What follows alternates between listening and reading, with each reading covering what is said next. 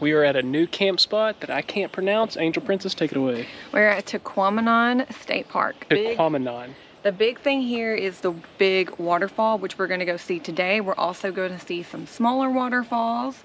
This is a state park campground, and there's several different loops. There's the upper falls and the lower falls, and then there's one close to Lake Superior. So we're at camp spot number 104, and we're at the lower falls. We're at the lower falls. There's the upper falls, the lower falls, and the lower falls are smaller. The upper falls are taller, but the upper falls are one of the largest waterfalls east of the Mississippi. It's I forgot. I'll tell you in a minute. So we are just excited to go do something. We're gonna go on a hike, we're gonna go see a waterfall, we're gonna explore, and I think we're just ready to do something like that. It's been too long. Oh yeah, it's 50. Has a 50 foot drop, and is 200 feet across. It's a pretty big waterfall. Well, you said you thought you could hear it from camp last night. Yeah, you can hear the lower the the lower waterfalls, which are five that have an island in Oh. the center. So the Oh. waterfalls break apart and go around the island. Okay. But many of you have been telling us to come here, so we listened to y'all, Mhm. and this is the first place in the UP. Oh, and we're at the UP. And if you're not from Michigan and you don't know what the UP is, it's the Upper Peninsula. We didn't know what the UP is. P was, so we're officially Yoopers. Yoopers for the. We don't know. We're gonna Yeah. be here for the remainder of Michigan. We're gonna be here moving along. So we're excited. Ready to go? yeah, let's go check out the Do lowers. it. Made it to the falls parking lot. It is not very far from the campground. Now this is the lower falls and this is a half a mile hike to the falls and half a mile back, so one mile round trip. Then there's an island with a half a mile loop, so this should be interesting. So just a short walk up a concrete paved path. We're on the first boardwalk viewing area and right here you can see two different falls and we're actually going to walk around the boardwalk so we can see them up close and personal.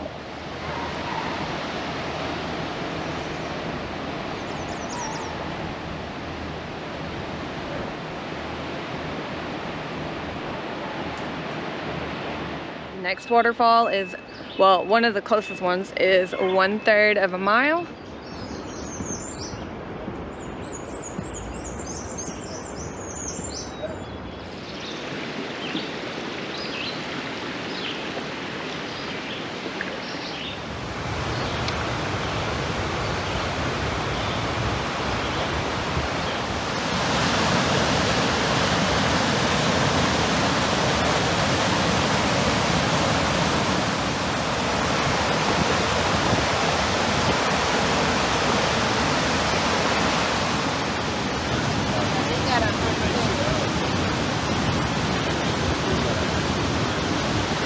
There used to be sand and a lot of other materials that were above this waterfall or above the layer of rock, and as it eroded away, the river eroded away all that, it exposed this sandstone that's older than the dinosaurs. So this was an ancient sea. Pretty cool.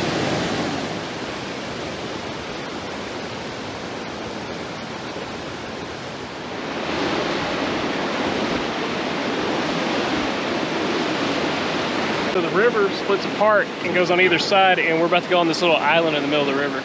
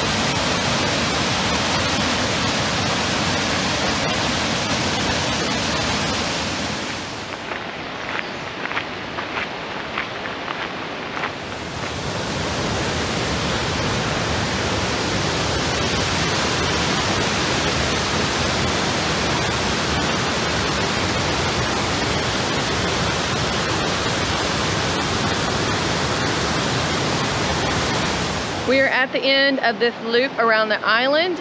Now when we head back, it's just the same thing that we passed on the way up here. Our next excursion is the Upper Falls, so we can drive to it quickly or we can hike four miles one way. So we've decided we're gonna drive to it because four miles one way and back, that's eight miles. We should have done that a long time ago. But Cody said there, he was like, come look at this. This is a, how this beaver chewed through this tree. I'm talking about like, look at my hand. Every single tooth mark.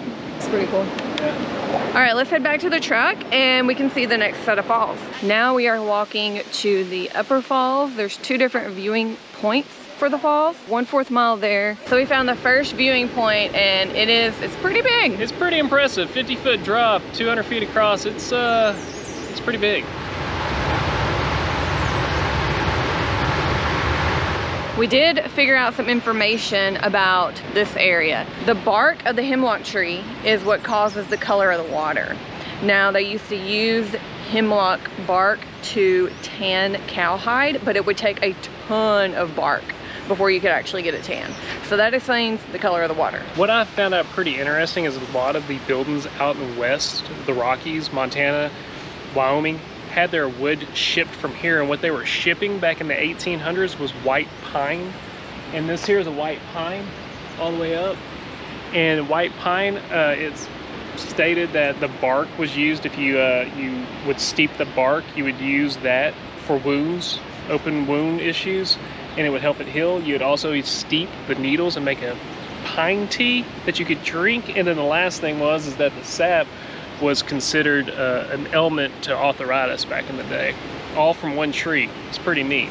So why did they ship it to Montana and Wyoming? Well, that's what they were building a lot of the homes and cabins out there with. Uh, okay. They weren't, They weren't cutting just down timber it, out there. They were shipping it from here and going out there because it Gotcha. was great for building log cabins with. Okay, cool. Made it to the gorge view. Now you're gonna have to take 181 stairs to be exact, all the way down to get the view of the gorge.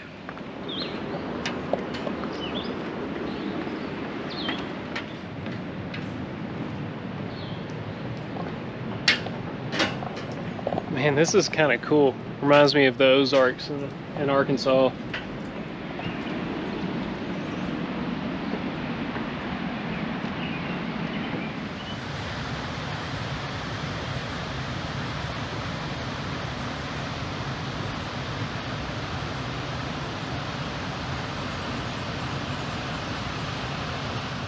Those 181 steps had my heart rate go up just, just a little. and my butt's still hurting from that workout the other day. Oh.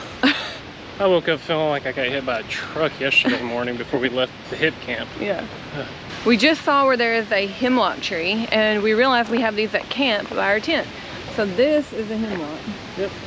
And this is the what looks like. So it, to me it looks kind of close to a spruce or Or a cedar spruce yeah, it's like a mix. mix. Yeah. We finally figured out what's causing all the foam on top of the water.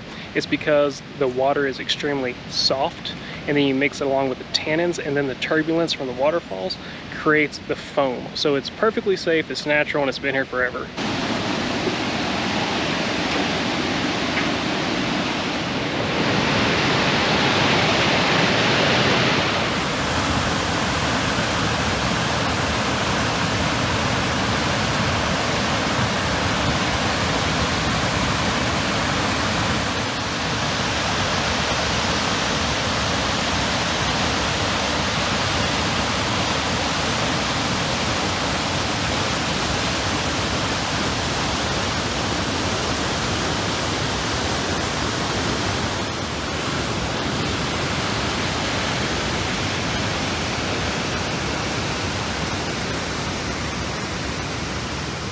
There is a brew pub over here. It's in the same parking area as the hike to the falls. And they have food, they brew their own beer.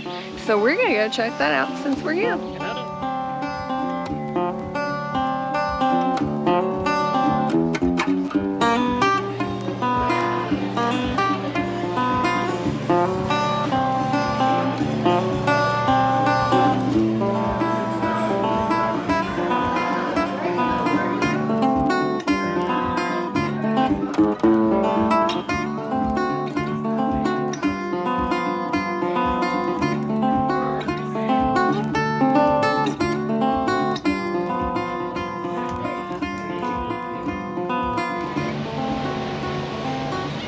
So we're cutting this short because we need to get back to camp. We see lightning and thunder.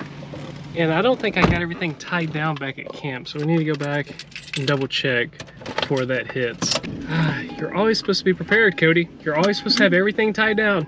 And I don't on this one. Just got back to camp and it is hailing. Like,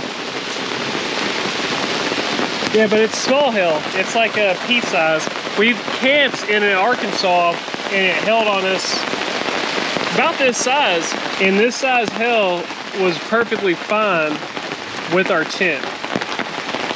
So it didn't destroy anything. It's when you start getting a golf ball size, tennis ball size, then you start running into issues.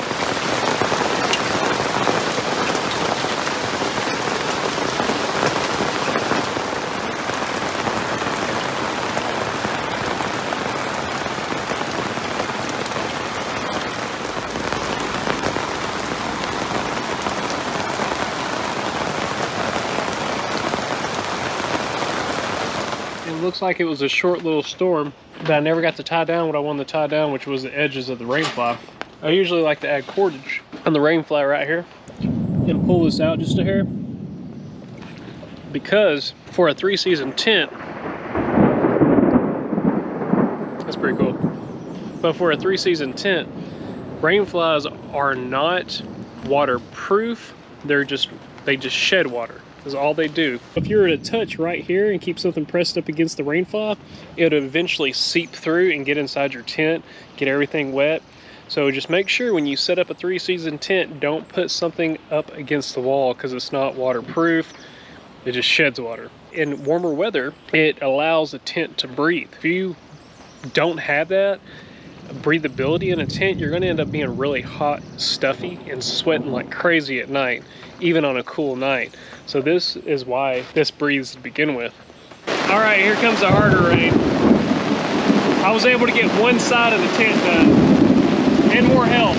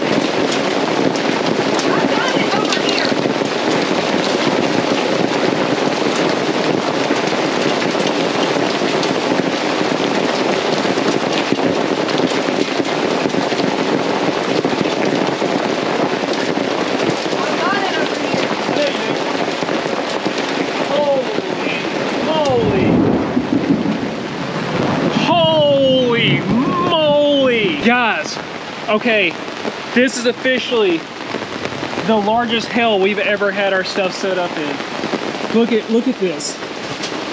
Look at this. That's marble size hail. Okay, my heart's racing a little bit because I don't know I don't know if this thing can handle this. Well, I hope it. I, I mean, it looks like it's like it's handling it. I mean, we're flooded out. Wow. So Angel Princess here made a really good call. She said, let's come here in case we need to push water off of the awning. I think we had a little bit more than water to worry about. And look at all the fog all of a sudden. This is crazy. My heart started pounding just because I, I noticed this just kept getting bigger and bigger the whole entire time. I'm just worried about the tent. I don't see any holes in the tent. Oh, neither. Whoa.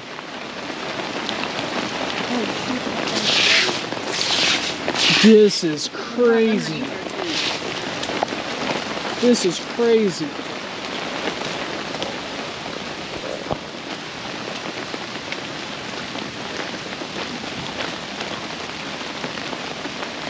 It looks fine. Looks fine. Okay. To me it does. Anyway, I don't know. Okay, this is a first for, for us. This is a first, and I am officially cold. it's cold now. Yeah, it's freezing. I mean, there is. Hey, you still need to get some stuff What do I need to get off? Okay. Here, get me. heavy. Okay. I'm I'm I'm really impressed that uh, uh that this didn't put a hole through it. Oh, we would have put a hole through the tent before we put a hole through this. Yeah, this uh, this material is a little heavier. This is actually canvas, is what this is made out of. I think it's canvas of some sort. That started hurting my hands. It's like, did your hands hurt? Yeah, so as I was holding that one up, it was hitting my hand and it hurt. I can't believe our tent's okay. Yeah. Ouch. That's Mountain impressive. Wow. Could you imagine if we didn't have these walls up right now? Oh yeah, This we'd would be have in been the truck. horrible. Well, we'd have to stand out here to get the water off of it.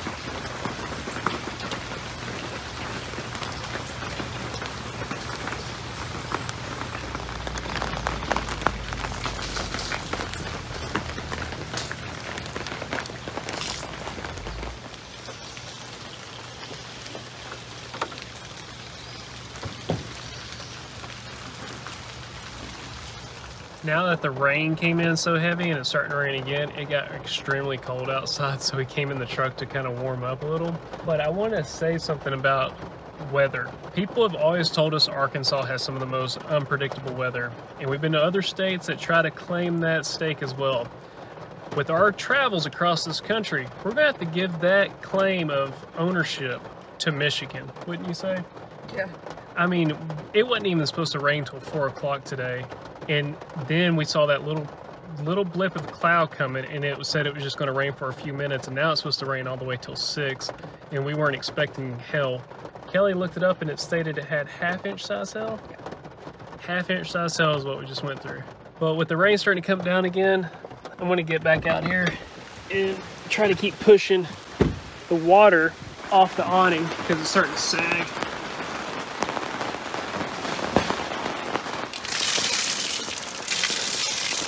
So as long as we don't have hell again, I'm fine. Normally, if I see pea-sized hell falling, I'm okay with it. But I started freaking out because it kept getting bigger and bigger, and I was half expecting to start seeing golf ball size, tennis size, softball size hell start falling. And the only thing that was starting to go through my head is how I'm going to get Kellie through this to safety in the truck or in the trailer with it being fully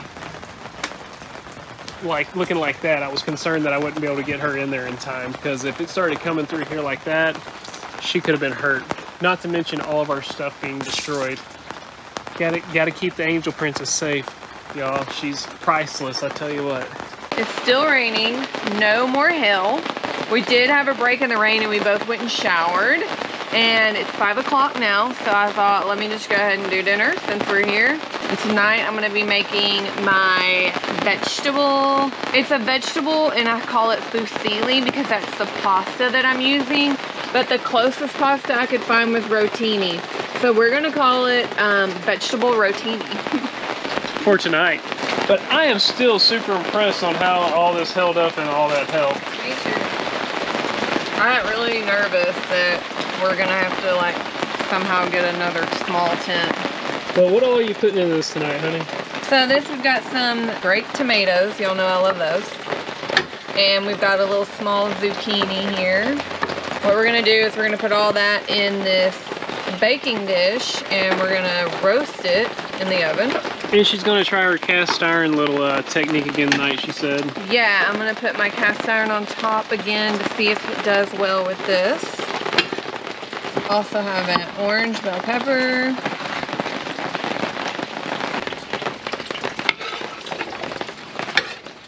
Last but not least, I'm gonna cut up a purple onion. Now I'm mixing this together and then I'm gonna make a little well in the center and I'm gonna put my feta cheese in there. Now we've got some oil.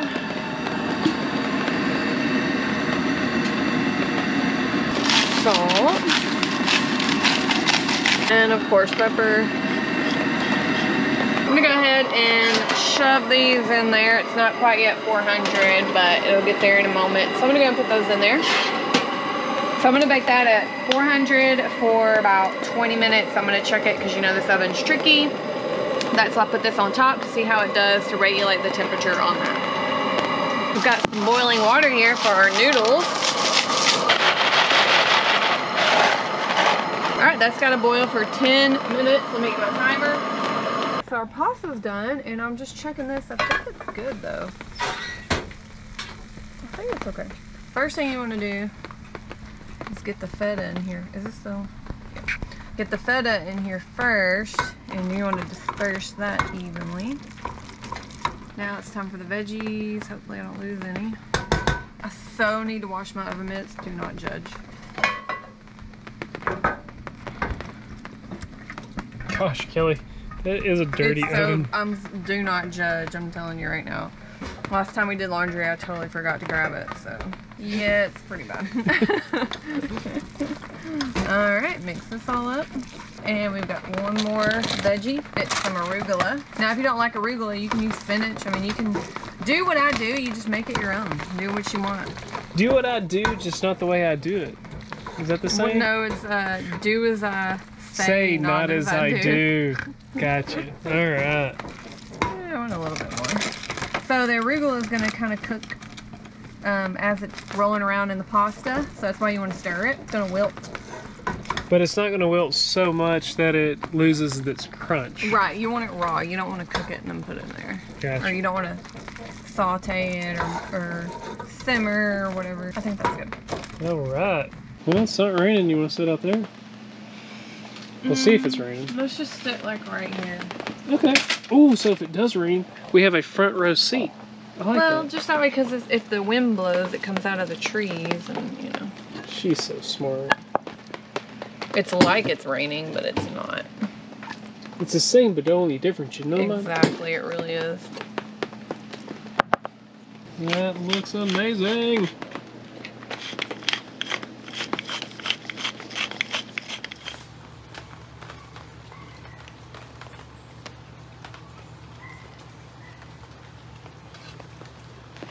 Well, it started raining again, but we were able to get dishes clean and the food. Very good. But tomorrow we're going to be leaving here and heading more west on the UP. We're going to call it here and we'll catch you on the other. See ya.